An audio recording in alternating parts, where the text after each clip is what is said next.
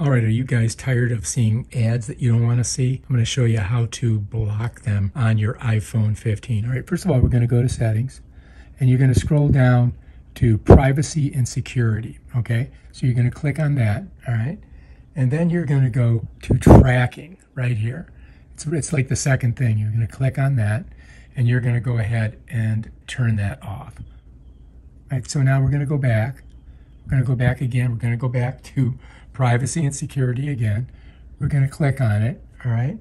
And then we're going to go all the way down to Apple advertising. All right, so you got to scroll all the way down. Click on that, and then you're going to go ahead and turn off uh, personalized ads. Then we're going to go back, all the way back. And now what we got to do is we've got to go all the way back to settings, and we're going to find uh, Safari. All right, then we're going to go to Safari because that's your browser. Click on that. Then scroll down to prevent cross-site tracking. And you're going to click that. And bam, Bob's your uncle. Then you go back, close out all that, and now hopefully you won't get all those nasty ads. All right, if you like this video, subscribe to my channel and check out my other awesome videos on stuff like this. Peace out.